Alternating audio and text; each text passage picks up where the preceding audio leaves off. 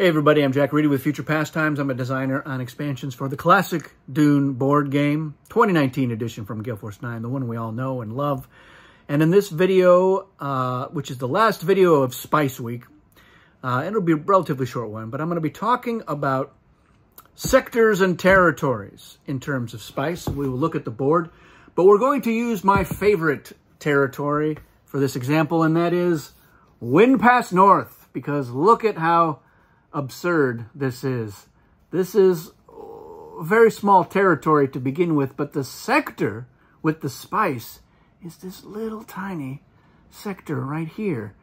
And uh, if there's a spice blow in Windpass North, it must go to the sector with the spice blow icon.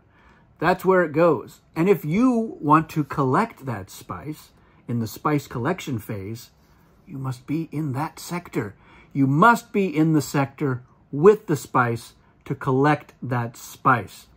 Now, if I have forces in this sector of Windpass North and you have forces in this sector of Windpass North, we still battle in the battle phase. But if you win that battle and you have forces left over and there's spice over here, you will not collect that spice in the spice collection phase because you're not in the correct sector. So, uh, I, I can't think of a reason why somebody would move to a territory but not to the sector with the spice. I suppose there are reasons. I can't think of any good ones. Um, I know, you know, there's issues with the storm. You know, let's say that the Atreides know that the next spice blow is going to be here, but there's a storm there. But they're not going to want to move over here anyway because they just get wiped out by the storm. Um, you know, there's other territories where that may not be uh, as big a problem, but yeah, they, they, they didn't put the spice icon in this sector because there's already a spice icon in that sector, and they want to double it up. And of course, over in this sector, they've got this spice, but, you know, Wind Pass North doesn't even go there.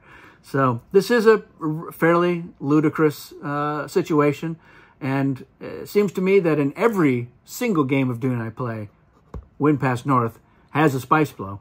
Um, now, I've got much bigger versions of this board. I have... Uh, a mat that is about 15, 20% bigger and one that uh, is even bigger than that. So it is easier to get the forces in there, which is one of the reasons why, not the only, but certainly one of the reasons why I have a much larger play mat is, uh, is, is to get more room for everybody to really, you know, have the uh, elbow room to fight and then collect the spice.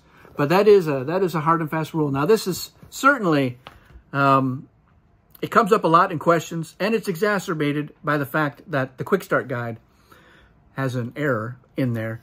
Uh, it will lead you to believe that you don't need to be in the sector with the spice, but you do. That is a hard and fast rule. There's no wiggling out of it. You can house rule it if you want, but you would be a fool to do so. You, um, it's so it's so carefully calibrated. You need to be in the sector with the spice. The sectors exist, of course, only for the, the storm and the effects of the storm, but it's because of that that it is important for you to be specific about which sector you move your forces into. Now, if, if there's no spice, um, the sector doesn't matter quite as much.